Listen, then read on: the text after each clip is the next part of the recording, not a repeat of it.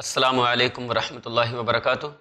ان الحمد للہ نحمده ونستعینه ونستغفره ونؤمن به ونتوکل علیہ ونعوذ باللہ من شرور انفسنا ومن سیئات اعمالنا من يهده الله فلا مضل له ومن يضلله فلا هادي له واشهد ان لا الہ الا اللہ واشهد ان محمدا عبده ورسوله تمام قسم کی تعریف کبریائی بڑائی، حمد و ثناء اللہ رب العالمین کے لیے ہیں، جو سارے عالموں کا پالن ہار ہے، مدبر ہے، منتظم ہے، چلانے والا ہے۔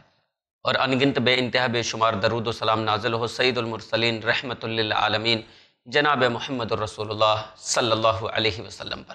اللہم صلی علی محمد وعلی آل محمد، کما صلیت علی ابراہیم وعلی آل ابراہیم، انکا حمید مجید۔ اللہم بارک علی محمد وعلی آل محمد کما بارکت علی ابراہیم وعلی آل ابراہیم انکا حمید مجید۔ ناظرین، میں کمال الدین سنابلی حاضر ہوا ہوں اپنا موضوع لے کر۔ شیطان کے تعلق سے ہم آخری مرحلوں میں چل رہے ہیں۔ ہمارا موضوع یہ چل رہا تھا کہ شیطان سے بچاؤ کے طریقے کیا کیا ہیں۔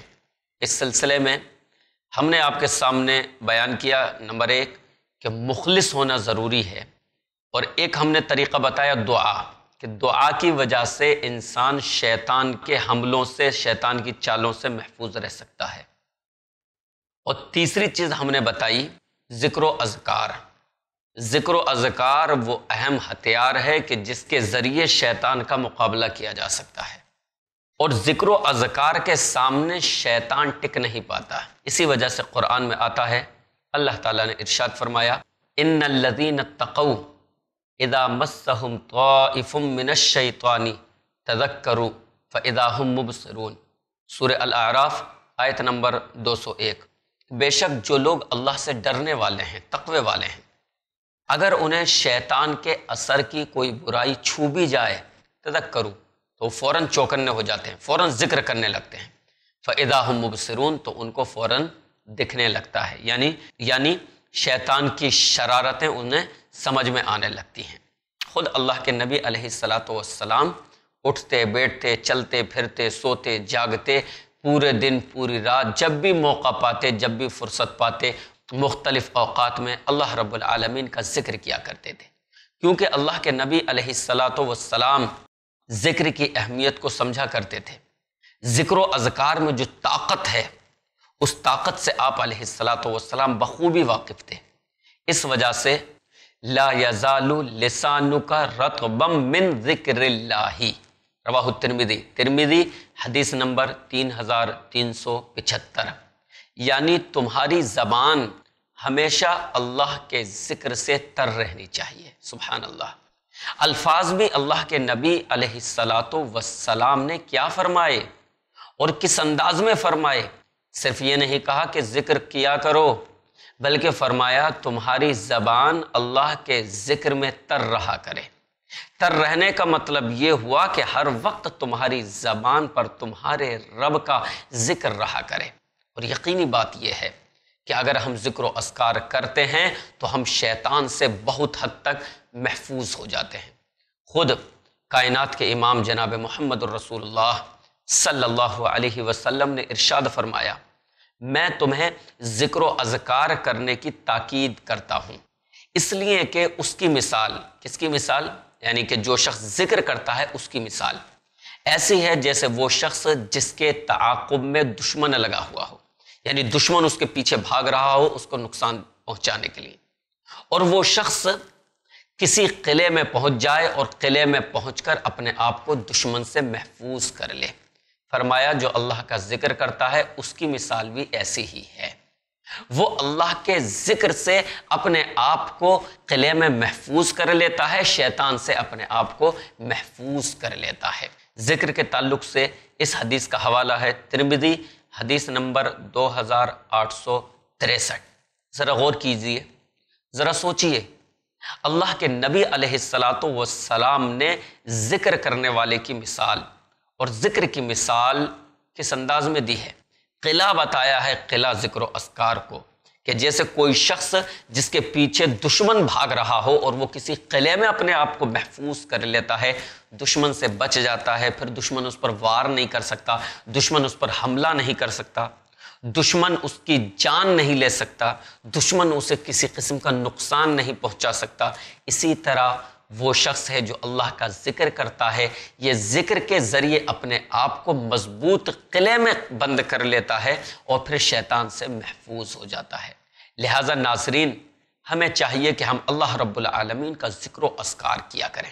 زیادہ سے زیادہ ذکر و اسکار کیا کریں تاکہ ہم اپنے دشمن شیطان سے بہت حد تک محفوظ ہو سکیں۔ قرآن میں اور حدیث میں بہت سارے ذکر و اسکار موجود ہیں جن کا ورد کیا جا سکتا ہے۔ بہت سارے ذکر و اسکار ہیں۔ مثال کے طور پر سبحان اللہ و بحمدہ سبحان اللہ العظیم، یہ ایک ذکر ہے۔ اللہ رب العالمین کو بہت محبوب ہے، زبان پر آسان ہے اور آخرت میں ترازو کے پلڑے میں یہ بہت زیادہ بھاری ہوگا۔ بخاری شریف کی یہ آخری حدیث ہے کلیمتانی حبیبتانی الرحمانی۔ خفیفتانی اللسانی، ثقیلتانی فلمیزان سبحان اللہ و بحمدہ سبحان اللہ العظیم۔ بخاری شریف کی بالکل آخری حدیث ہے۔ اس میں یہ بتایا گیا ہے، اس ذکر کے تعلق سے کہ اللہ رب العالمین کو یہ بہت زیادہ پسند ہے بہت زیادہ محبوب ہے۔ زبان پر یہ کلمے بہت ہلکے ہیں یعنی انسان آسانی سے اس کلمے کو، اس ذکر کو یاد کر سکتا ہے۔ اب سوال اٹھتا ہے کہ زبان پر ہلکے ہیں تو اس کا مطلب اس کا اجر و ثواب بھی کم ہوگا۔ تو اللہ کے نبی کا ارشاد ہے کہ زبان پر ہلکے ہیں لیکن میزان میں بہت زیادہ بھاری ہیں۔ اللہ تعالیٰ کے یہاں جو اعمال تولے جائیں گے، ان میں ان کلموں کا وزن بہت زیادہ ہوگا۔ تو فرمایا، حبیبتانی الرحمانی، خفیفتانی اللسانی، ثقیلتانی فی المیزانی۔ سبحان اللہ و بحمدہ، سبحان اللہ العظیم۔ اس کے علاوہ اور بھی بہت سارے ذکر و اسکار ہیں۔ کچھ نہیں تو آپ زیادہ سے زیادہ استغفار کریں۔ استغفار کی بہت اہمیت آئی ہے۔ استغفر اللہ استغفر اللہ استغفر اللہ استغفر اللہ اس طرح سے استغفار کرتے رہیں۔ تو قرآن میں یا حدیث میں اللہ کے نبی علیہ السلاۃ والسلام کے جتنے بھی مصنون اذکار ہیں، ان کا ورد جاری رکھیں۔ جس طرح سے سنت میں بتایا گیا ہے، جس طرح سے احادیث میں بتایا گیا ہے اس طریقے سے ان کا ورد کریں، اس طریقے سے ان کا ذکر کریں، انشاءاللہ بہت زیادہ فائدہ ہوگا اور شیطان ذلیل و رسوا ہوگا، آپ اللہ کی طرف سے ایک قلعے میں محفوظ ہو جائیں گے۔ شیطان سے بچنے کے لیے ایک اور اہم چیز سور بقرہ کی تلاوت۔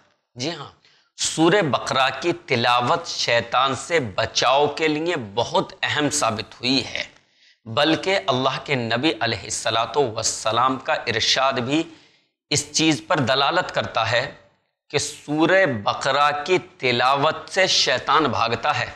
شیطان دور بھاگتا ہے۔ جیسا کہ ایک حدیث میں پیارے نبی جناب محمد الرسول اللہ صلی اللہ علیہ وسلم نے ارشاد فرمایا کہ تم اپنے گھروں کو قبرستان مت بناؤ۔ ان شیطانہ ینفرو من البیت الذی تقرأ فیہ سورت البقرتی مسلم حدیث نمبر سات سو اسی کہ تم اپنے گھروں کو قبرستان مت بناؤ اور بے شک شیطان اس گھر سے بھاگ جاتا ہے جس میں سورہ بقرہ پڑھی جاتی ہے۔ اس سے پتا چلا کہ اگر ہم سورہ بقرہ کی تلاوت کرتے ہیں تو شیطان ہمارے گھروں سے بھاگ جائیں گے۔ جنات ہمارے گھروں سے بھاگ جائیں گے۔ ناظرین، میں یہاں پر ایک اور چیز کی وضاحت کر دوں کہ سور بقرہ کی تلاوت کے لیے کیا کوئی مخصوص عدد ہے؟ کیا مخصوص ایام ہیں؟ دیکھیے میں پوری صورت کی بات کر رہا ہوں۔ ایک دو آیت کی نہیں، ایک دو آیت کے تعلق سے الگ ایک حدیث آئے گی جو انشاءاللہ ہم آگے بیان کرنے والے ہیں۔ میں پوری صورت کی بات کر رہا ہوں، سورہ بقرہ کی۔ کیا اس کو پڑھنے کے لیے کوئی مخصوص عدد ہے؟ کوئی مخصوص ایام ہے جواب ہے نہیں۔ اس کو پڑھنے کے لیے کوئی مخصوص ایام نہیں، کوئی مخصوص عدد نہیں۔ یہ سمجھنا، گھر میں سور بقرہ کی تلاوت چالیس دن ہی کرنی ہے حدیث سے ثابت نہیں۔ بنا ایام کو خاص کیے ہوئے، بنا عدد کو خاص کیے ہوئے، بنا گنتی کو خاص کیے ہوئے آپ سور بقرہ جب تک پڑھنا چاہیں گھر میں پڑھیے۔ حدیث میں سور بقرہ پوری کی پوری صورت پڑھنے کا عدد اللہ کے نبی علیہ السلاۃ والسلام نے متعین نہیں کیا ہے۔ آپ کے شوق پر ہے، آپ ایک دن پڑھیں، دو دن پڑھیں، تین دن پڑھیں، پانچ دن پڑھیں، تیس دن پڑھیں، دو مہینے پڑھیں یا آپ کے ذوق پر، آپ کے شوق پر، آپ کی دلچسپی پر منحصر کرتا ہے۔ اس کے لیے مخصوص ایام کو خاص کرنا یا خاص تعداد کو متعین کرنا سنت نبوی صلی اللہ علیہ وسلم سے ثابت نہیں ہے۔ شیطان سے بچاؤ کے لیے ایک اور ذکر سور بقرہ کی آخری دو آیتیں۔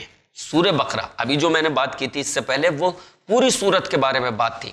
اب جو میں بات کر رہا ہوں سور بقرہ کی آخری دو آیتوں کے تعلق سے، یہ بھی بہت اہم ہے اور ان دو آیتوں کی وجہ سے بھی شیطان بھاگتا ہے، شیطان راہ فرار اختیار کرتا ہے۔ اللہ کے نبی علیہ السلاۃ والسلام نے ارشاد فرمایا، من قرأ الآیتینی من سورت البقرتی فی لیلتن کفتاہو یعنی جو شخص سورہ بقرہ کی آخری دو آیتوں کی تلاوت کرتا ہے، پڑھتا ہے رات میں۔ کا فتح تو یہ دونوں آیتیں اس کے لیے کافی ہو جاتی ہیں۔ اس کے دو مطلب ہیں۔ ایک مطلب تو یہ اس کا ہو سکتا ہے کہ اس کے لیے کافی ہے یعنی اس نے یہ دو آیتیں پڑھ لی اب پوری رات ذکر و اذکار کرنے سے وہ بے نیاز ہو گیا۔ یہ اس کے لیے کافی ہے۔ اور اسی میں یہ مطلب بھی شامل ہے کہ سورہ بقرہ کی باقی آیتیں پڑھنے سے بے نیاز ہو گیا، اس کے لیے یہ دو آیتیں پڑھ لینا کافی ہے۔ اور دوسرا مطلب یہ ہے کہ جو شخص یہ دونوں آیتیں پڑھتا ہے رات میں کا فتح ہو تو یہ دونوں آیتیں اس کے لیے کافی ہو جاتی ہیں۔ یعنی شیطان کے شر سے یہ شخص محفوظ رہتا ہے۔ اللہ رب العالمین حفاظت کرتا ہے۔ کا فتح یہ دونوں آیتیں اس کے لیے کافی ہیں۔ شیطان کے مقابلے کے لیے، شیطان کو پیچھے ہٹانے کے لیے، شیطان سے محفوظ رہنے کے لیے۔ سورہ بقرہ کی آخری دو آیتوں کے بارے میں ایک اور حدیث میں آپ کے سامنے پیش کروں۔ حضرت نعمان بن بشیر رضی اللہ عنہ فرماتے ہیں کہ اللہ کے نبی علیہ السلاۃ والسلام نے ارشاد فرمایا کہ اللہ تعالیٰ نے زمین و آسمان کی تخلیق سے دو ہزار قبل ایک کتاب تحریر فرمائی اور اس کتاب میں سے دو آیتوں کے ذریعے سے سورہ بقرہ کو ختم کیا۔ مطلب سمجھ رہے ہیں؟ ایک کتاب تحریر فرمائی، زمین و آسمان کی تخلیق سے دو ہزار پہلے۔ اور ان میں سے یعنی اس کتاب میں سے دو آیتیں لے کر ان سے سورہ بقرہ کو ختم کیا یعنی ان کو سورہ بقرہ کے لاسٹ میں رکھا۔ فرمایا، پھر جو شخص ان دو آیتوں کو پڑھتا ہے، تین دن اپنے گھر میں تو شیطان وہاں سے بھاگ جاتا ہے۔ ترمیدی حدیث نمبر دو ہزار آٹھ سو بیاسی۔ اس حدیث سے بھی پتہ چلا کہ اگر کسی گھر میں سورہ بقرہ کی آخری دو آیتوں کی تلاوت کی جاتی ہے تو شیطان اس گھر سے بھاگ جاتا ہے۔ ناظرین، سورہ بقرہ کی ان دو آیتوں کے بارے میں میں ایک وضاحت آپ کے سامنے کر دوں کہ سورہ بقرہ کے تعلق سے تو میں نے آپ سے یہ کہا تھا کہ اس کے لیے ایام خاص نہیں ہیں، اس کے لیے عدد خاص نہیں ہے لیکن سورہ بقرہ کی آخری دو آیتوں کے بارے میں حدیث میں عدد مخصوص موجود ہے اور وہ عدد کیا ہے؟ تین دن کا۔ اللہ کے نبی علیہ السلاۃ والسلام نے فرمایا کہ جس گھر میں بھی ان دو آیتوں کو تین دن پڑھا جاتا ہے تو شیطان وہاں سے بھاگ جاتا ہے۔ اس سے پتا چلا کہ اس کے لیے تین دن مخصوص ہیں، اس کی تلاوت خاص کر تین دن کر سکتے ہیں۔ دیکھیے ناظرین آفیت اسی میں ہے کہ قرآن اور حدیث نے جتنا حکم دے دیا ہے، ہم اس پر اکتفا کریں۔ جہاں پر عدد کو خاص نہیں کیا ہے وہاں عدد کو خاص نہ کرنے میں آفیت ہے۔ جہاں پر عدد کو خاص کیا ہے، وہاں عدد کو خاص کرنے میں آفیت ہے۔ یعنی اللہ اور اس کے رسول نے جتنا حکم دیا ہے، وہیں پر رک جانا سب سے بڑی آفیت اسی میں ہے۔ اگر اس سے پیچھے رہے، تب بھی محفوظ نہیں رہے۔ اور اس حکم سے آگے بڑھ گئے۔ یا یو الذین آمنو لا تقدمو بین ید اللہ و رسول ہی اللہ۔ اگر آپ آگے بھی بڑھ گئے، اس حکم سے۔ اللہ کے بتائے ہوئے حکم سے، رسول کے بتائے ہوئے حکم سے۔ تو بھی آفیت نہیں ہے۔ جیسا کہ میں نے پچھلی نشستوں میں آپ کے سامنے علامہ ابن قیم رحمہ اللہ کا قول نقل کیا تھا کہ شیطان کی کوشش یہ ہوتی ہے، جب انسان کوئی بھی نیک کام کرتا ہے، کوئی بھی عبادت کرتا ہے، کہ اس سے اس میں وہ یا تو کچھ اضافہ کروا دے یا کسی چیز کی کمی کروا دے۔ کل ملا کے شیطان کا مقصد یہ ہوتا ہے کہ مصنون طریقے سے انسان کو ہٹا دے۔ سرات مستقیم سے ہٹا دے۔ عبادت تو کرے وہ، لیکن مصنون طریقے پر نہ کرے۔ پہلے تو شیطان کوشش کرے گا، عبادت ہی نہ کرے۔ لیکن جب عبادت کرنے لگا، کچھ کر رہا ہے، تو مصنون طریقے سے ہٹانے کی شیطان کوشش کرتا ہے۔ یا تو زیادتی کروائے گا، یا کمی کروائے گا۔ تو سورہ بقرہ پوری کی پوری صورت جو ہے، وہاں شریعت نے تعداد کی تخصیص نہیں کی ہے۔ لہٰذا ہمیں اس میں اپنی طرف سے اضافہ نہیں کرنا ہے کہ اس کو چالیس دن گھر میں پڑھنا ہے۔ تب شیطان بھاگے گا۔ نہیں، حدیث میں کوئی وضاحت نہیں ہے، عدد کی کوئی تعین نہیں ہے۔ لہٰذا ہم بغیر کسی تعین کے جب تک چاہیں اپنی مرضی کے مطابق، اپنی نشاط کے مطابق، دلچسپی اور ذوق کے مطابق پڑھ سکتے ہیں۔ اور سورہ بقرہ کی آخری جو دو آیتیں ہیں، اس کا عدد شریعت کی طرف سے متعین ہے۔ تین دن، لہٰذا ہم اس کے عدد کو خاص کر سکتے ہیں، اس کی تعین کر سکتے ہیں کہ تین دن اس کی اگر تلاوت کی جائے گھر میں، تو شیطان کے شر سے انشاءاللہ محفوظ ہو جائیں گے۔ ناظرین آج ہم دیکھتے ہیں بہت سارے لوگ جنات اور شیطان کی شرارتوں سے پریشان ہیں۔ عجیب عجیب قسم کے واقعات رونما ہوتے ہیں۔ شیطان یا جنات جو کہ ایک ہی نسل سے ہیں، یہ انسان پر عجیب عجیب انداز میں حملے کرتا ہے، اس کو خبطی بناتا ہے، اس کو بیمار کرنے کی کوشش کرتا ہے۔ اس کے جسم میں داخل ہو کر اس کو مختلف اذیت اور تکلیفیں پہنچانے کی کوشش کرتا ہے یا بعض مرتبہ ویسے بھی محسوس ہوتا ہے اگر کسی کو کہ اس کے گھر میں جنات کا شیاطین کا اثر ہے۔ آصف زدگی ہے، کسی قسم کا اثر پایا جاتا ہے۔ تو پھر شریعت نے جو نسخہ بتایا ہے، سورہ بقرہ کی تلاوت اور سورہ بقرہ کی آخری دو آیتوں کی تلاوت، اس پر اس کو عمل کرنا چاہیے۔ یکسوئی کے ساتھ جب انشاءاللہ وہ اس پر عمل کرے گا تو شیطان کے شر سے وہ محفوظ ہو جائے گا اور شیطان یا جنات اس کے گھر سے بھاگ جائیں گے۔ ہوتا کیا ہے ہمارے سماج میں؟ یا ہم مسلمانوں کا حال کیا ہے؟ کہ شریعت نے ہمیں جس چیز کا حکم دیا ہے، اس چیز پر ہم عمل نہیں کرتے۔ اور شریعت نے جس چیز کا ہمیں حکم نہیں دیا ہے، اس چیز پر ہم اپنی طرف سے عمل کرتے ہیں۔ جبکہ آفیت اس میں ہے کہ جس چیز کا حکم دیا اس پر عمل کیا جائے، جس کا حکم نہیں دیا اس پر عمل نہیں کیا جائے۔ آج جنات، جادو، شیاطین کا اثر اس سے بہت سارے لوگ کرا رہے ہیں۔ لیکن اس کا علاج وہ کس طرح سے چاہتے ہیں، اس کے علاج کے لیے وہ پاکھنڈی باباؤں کے پاس جاتے ہیں۔